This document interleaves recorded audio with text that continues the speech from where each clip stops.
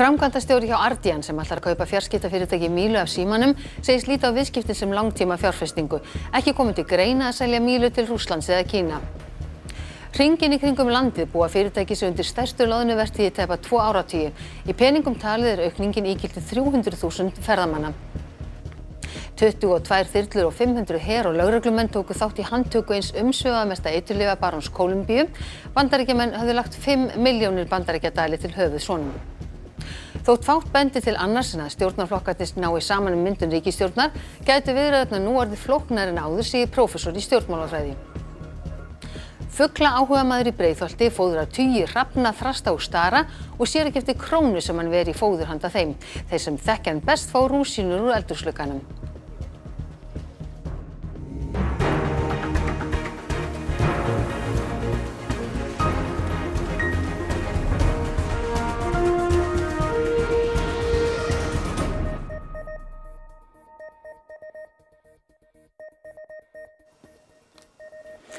Komið sæl.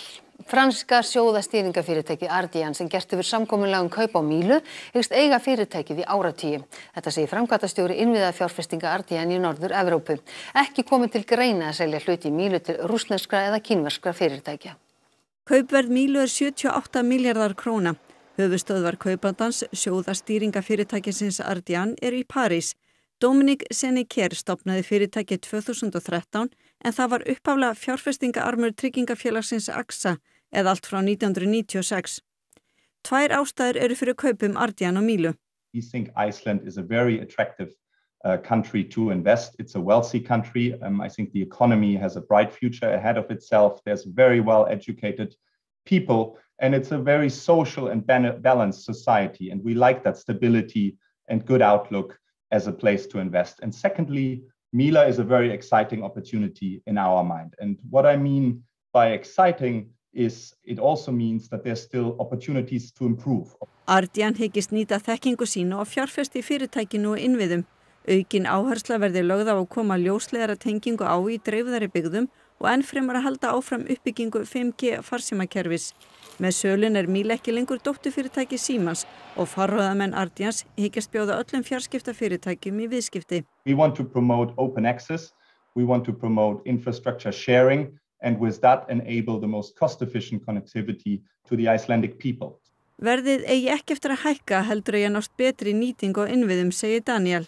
Do you think uh, Ardian will consider sometime in the future selling a part of Mila or, or Mila as a whole to uh, Chinese or Russian companies?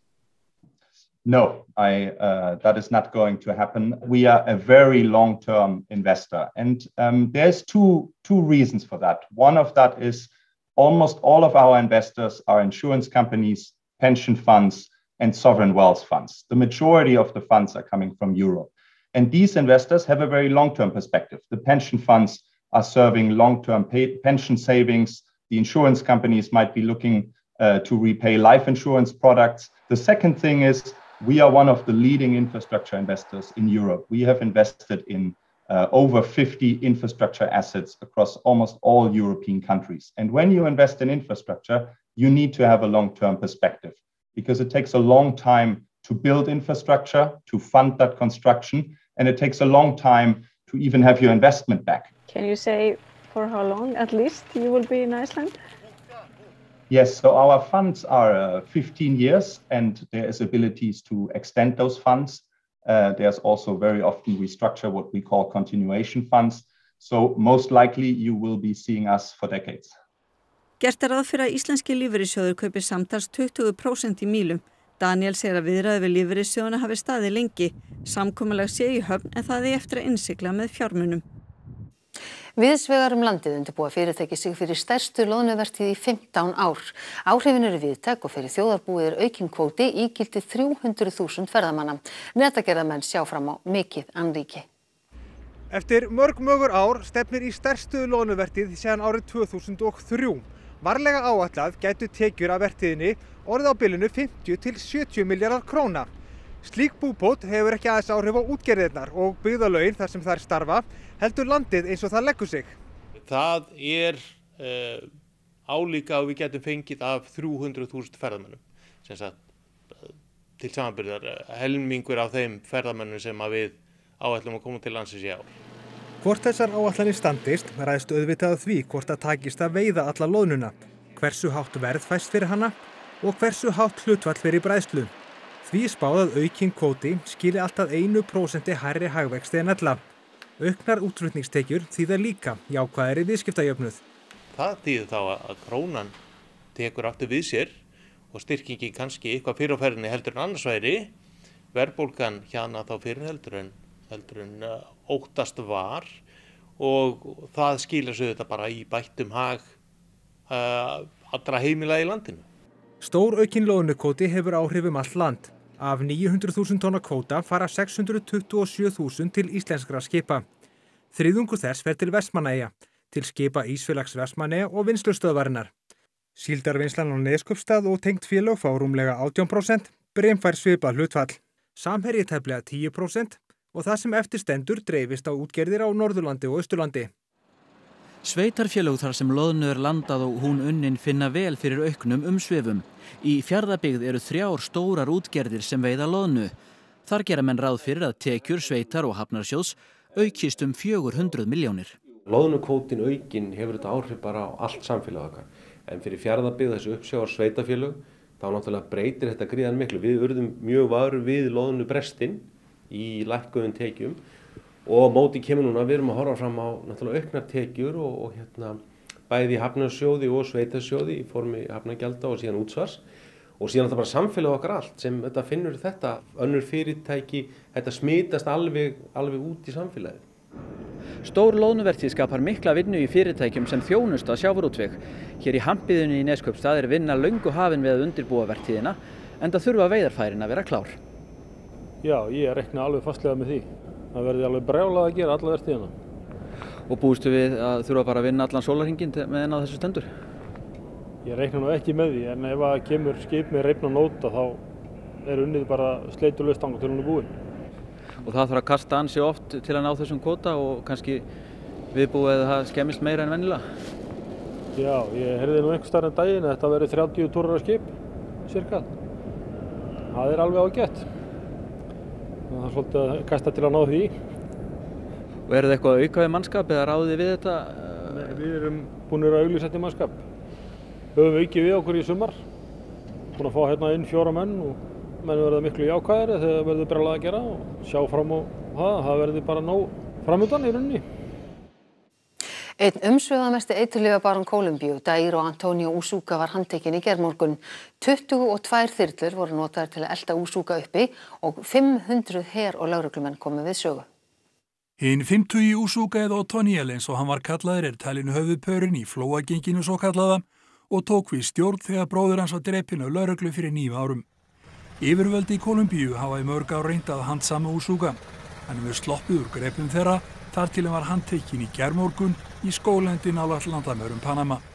Hann er sagður bera ábyrð á að hafa fyrirskipað dráp á fólki í baróttu um yfiráðasvæði og fíknefnamarkaðinum í Kolumbíu. Mest af eitulífum á markaði í bandaríkjanu kemur þaðan. Bandaríkjamenn höfðu heitið 5 miljónu bandaríkjadala til þeirra sem getur gefið upplýsingar um Úsúka. Handtakan getur orðið vatn á millu fósettans Ivan Duque. Hann er íhaldsamur og hefur ekki þótt standa sér í stykkinu að draga úr kokain framleyslu í Kolumbíu. Yfirvöldum sem berjast gegn eitulífum í bandaríkjunum til lítillar gleði. Alias Otoniel era el narcotraficante más temido en todo el mundo. Asesino de policías, de soldados, de líderes sociales, además reclutador de menores. Y se conoce también por esa demencia que lo llevó a abusar de manera recurrente de niños, niñas y adolescentes. No solamente estaba en el cartel de los más buscados por narcotráfico y reclutamiento, sino también por abuso de menores. Prófessor í stjórnmálafræði segir að stjórnarflokkunum gæti reynst erfiðar að ná saman um grundvallarmál við myndun þessarar ríkistjórnar. Ekki gangi til lengdar að láta slík mál sitja á hakanum. Fjórar vikur eru síðan úrslitt alþingiskostninga lágu fyrir og hafa formenn stjórnarflokkana átt í stöðugum viðræðum síðan. Formennir hafa lítið gefið upp um gang viðræðnana. Og lítið presta því hvaða málefni hafa verið til umræðu hverju sinni. Eiríkur Bergmann, professor í stjórnmálafræði, segir fjórar vikur í sjálfu sér ekki langur tími til viðrana. Sérstaklega í ljósi þess að stjórnin helt velli og hér sé engin stjórnakreppa. En leindar hjúpurinn sé óvennilegri. Og eiginlega er það eh, svona helsta einkennið á þessum stjórnarmyndunar viðræðum hversu lítið er eitthvað neginn af þeim að frétta. Við fáum ekki mikla móla, svona móla út úr þessu og, og, og þetta flei virðist ekkert sérstaklega legt miða við mörg önnur sem hefur reynd að klastra saman áður. Eiríkur bendir á að ríkistjórnin sé óvenjulega saman sett, flokkarnir sé á öndvörðum pólum og þegar þannig byrju undir standi mörgmál út af. Og eðli svona breyðra stjórna er það að þau ná gætnan sko illa saman um breytingar á grundvallamálum. Á grundvallamálum þá náðu yfirleitt bara saman um að, að breyta sem minnstu um, og það gengur yfir stuttan tíma en þegar að uh, svona ríkistjórn heldur áfram þá gengur það kannski ekki lengur að láta risastór mál sitja á hakanum. Nefnir Eiríkur í því samingi heilbriðismálinn. Þá er vitað að töluvert ber á milli flokkana í umhverfis og orkumálum sem og ríkisfjármálum. Eiríkur telur þó að flokkarnir ætli sér að ná saman.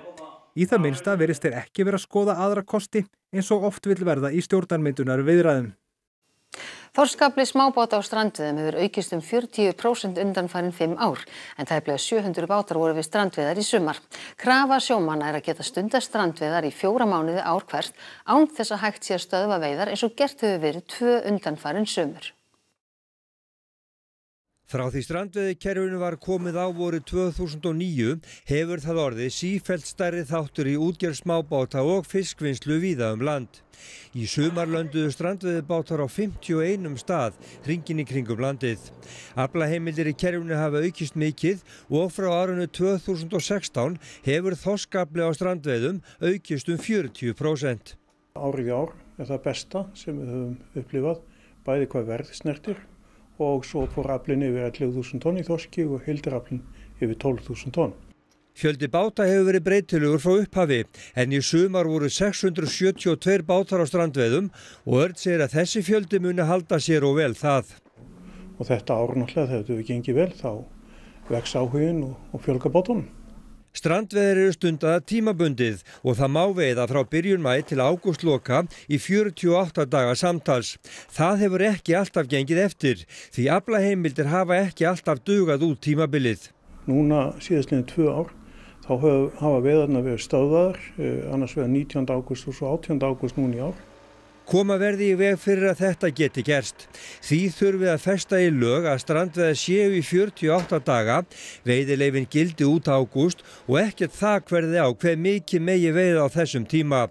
Þetta var eina kröfum á nýjafstöðnum aðalfundi landsamba smábátaegenda og Örd segir að þetta sé eftirvill eina veiga mikla breytingin sem eigi eftir að gera á þessu 12 ára gamla kerfi. Við viljum náttúrulega alltaf uh, gera svona aðeins endurbætur á því en við teljum að ef að það verði sett í lög að veiðilefi gildi í 48 daga þá erum enn mjög sáttir við það.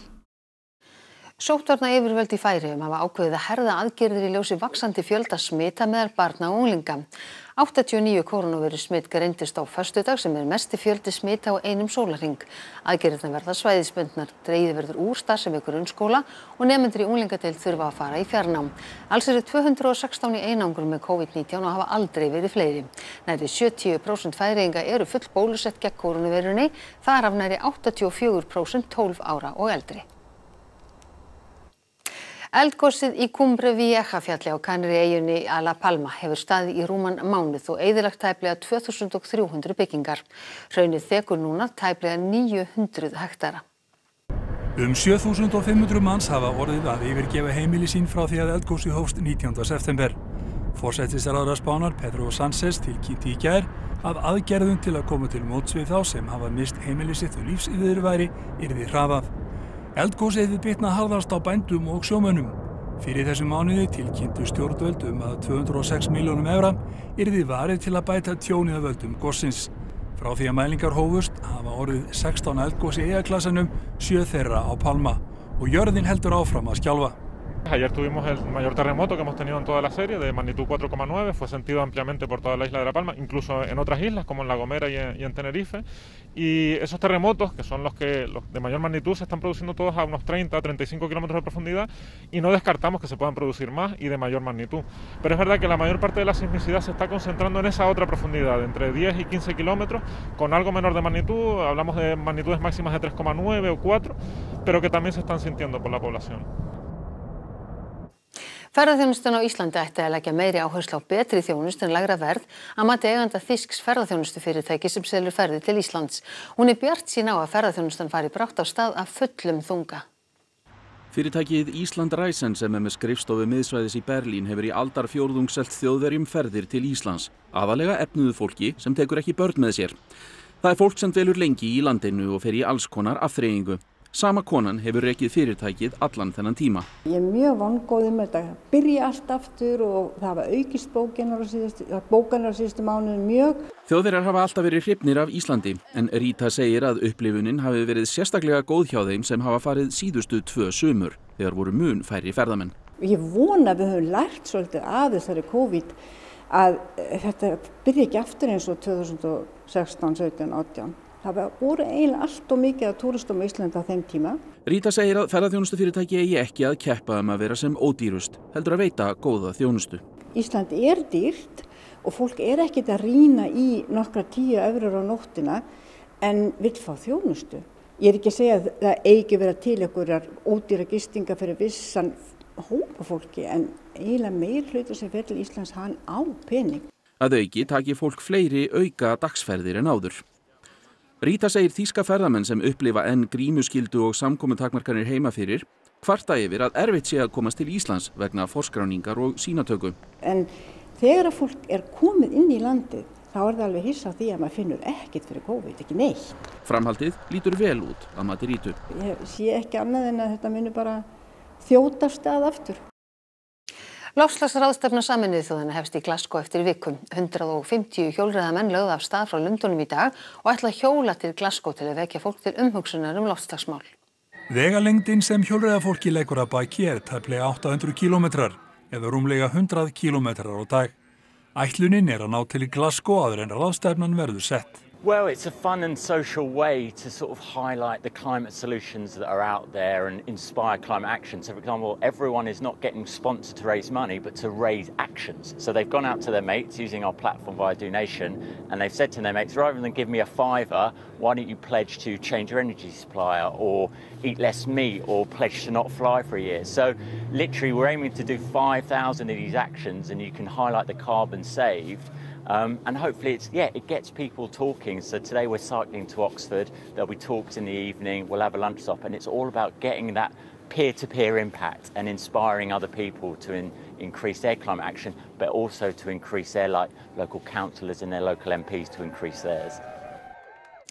Fugla áhuga maður í Breiðholti við myndað einstök tengsli hrafnastara og skóartresti í hverfinu og sér ekki eftir krónu sem að veri í fóðurandaðum.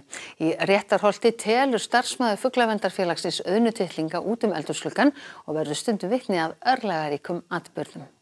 Örn Ægir Reynisson hefur gefið fuglunum í Breiðholti árum saman og þeir taka honum og hundinum bánsa vel. Þeir eru ofta að syngja bara sko, þeir þekkja okkur alveg, þeir vita að það er matur á leiðinu og bara undrast yfir í hvað þeir eru gáðaðir sko. Þeir koma til dæmis þarna og láta mig vita að vantir mat hérna niður frá og þeir vita hvað ég á heima og stundum eldaðir okkur eða verðum að rölda hérna um sko eitthvað aðeins. Fuglarnir voru sattir og sælir þegar við litum við í dag og svo litill afgangur af fóðri sem bánsi gæti sér á. Raunar er þetta hundafóður sem örnægir gefur og svo bleikjufóður þegar frostið fyrir að býta. Það fara maður 30 kíló að sekki sko og það er mjög næringaríkt og gott sko. Og er þetta ekki orðin svolítið kostnaður að fóra að halda öllum þessum fuglum uppi? Nei, nei, þetta eru nokkur í 10.000 ári. Það er bara alveg vel þess verið. Örnægir segir að þetta séu alltaf sömu fuglarnir, ár eftir ár.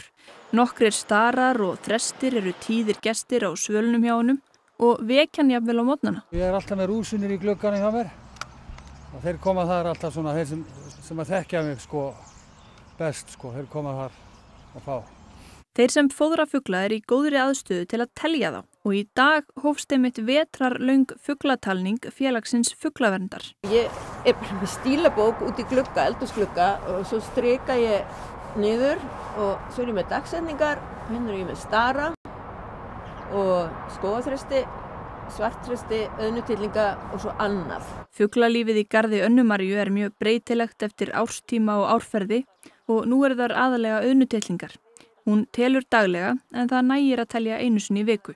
Þeim er fleiri sem taka þátt, þeim er betur sér maður dreifinguna á þessum bæði garðbuglum og flækingum sem að detta inn hérna á veturna. Ég hef ekki verið með mikið af uh, sjálfgjafum fuglum.